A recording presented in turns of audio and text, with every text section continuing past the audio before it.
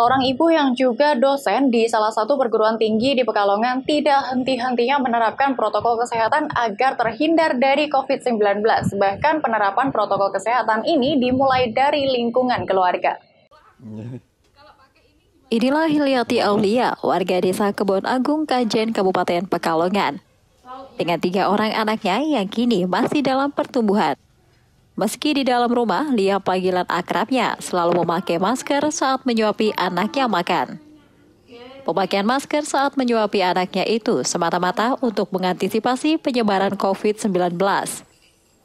Usai memberikan sarapan, pentingnya menjaga protokol kesehatan pun diajarkan kepada anak-anak Lia.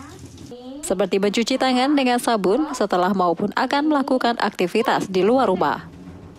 Anak-anak juga diberi edukasi agar tidak berkerumun dan memakai masker.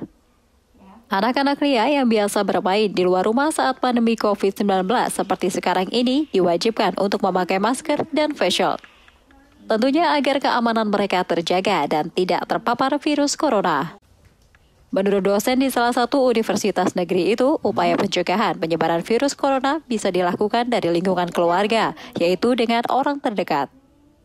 Kebiasaan hidup bersih juga wajib dilakukan sehari-hari, apalagi di masa pandemi COVID-19.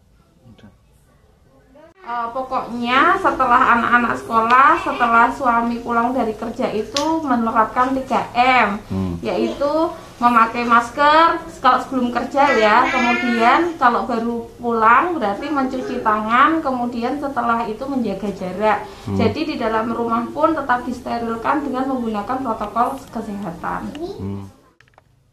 Setelah melakukan tugasnya sebagai ibu rumah tangga dan mengedukasi protokol kesehatan kepada keluarga, Lia berangkat bekerja. Namun sebelum memakai sepeda motornya, Lia selalu menyemprot sepeda motornya dengan disinfektan demi mencegah penyebaran COVID-19. Hari Himawan, Kompas TV, Pekalongan.